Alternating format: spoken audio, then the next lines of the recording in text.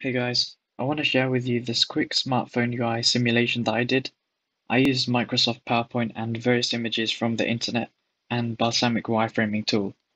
So here is the like phone simulation, and then uh, this would the that was lock screen. This is the home screen for this uh, example phone, and there are several apps you can actually go to the menus to.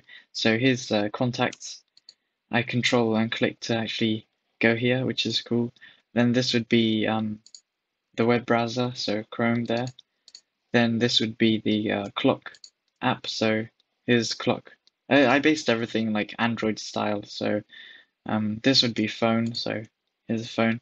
And it's, uh, it's cool that you can actually do this with PowerPoint. It's uh, kind of nifty, but the thing is you have to create the menu uh, menus like manually and um, bring the images in and uh, like arrange them. So the way to create buttons is to set a link on an image. So if I had, or even text, uh, yeah. But this uh, image here, let's just say I brought over from Balsamiq wireframes. Now I right click it and you do insert link or something, uh, but I can actually edit the link. And then it would do that by default.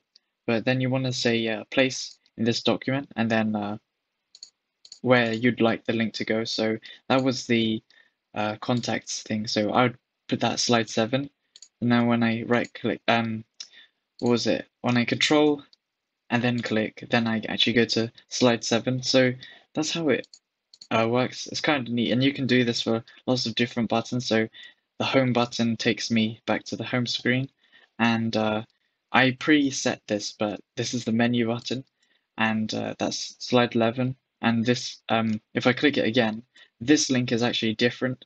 Um, each each image has its own link, and this square will actually bring me back to contacts on page seven, which is I think is kind of neat. You can do these things.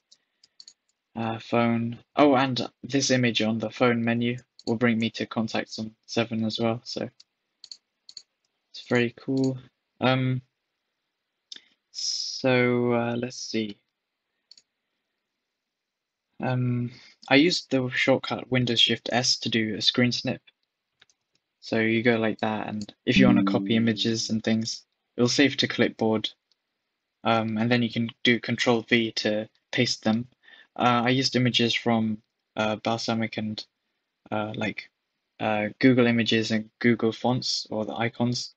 Um, and the stylized, oh yeah, the stylized text, so Roboto Mono was done in PowerPoint home and then you can change the font size and color and things. I think I tried to keep it black and white. There's a little rain cloud. The water's coming through. The water. Um, I don't know. And uh, uh, yeah, there were this line and other images. This like square oval thing. Uh, it was done with. You can do insert and shapes, or I think it's home and shapes, and then you can just select from some shapes to put in. And uh, you can select the order, uh, so you can send that to back. So that'd mean stuff in front you you can click easier and won't click the behind image uh, as much, I think.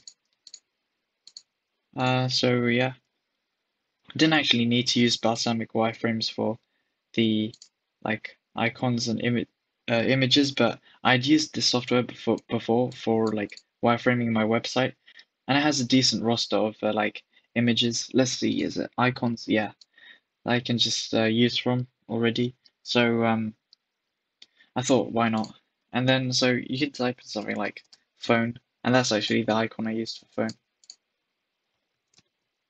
And just Windows Shift does that, and then I'll put that here or something. Uh, so yeah. Anyways, thanks for watching, and I hope you liked this because uh, I did. I like this.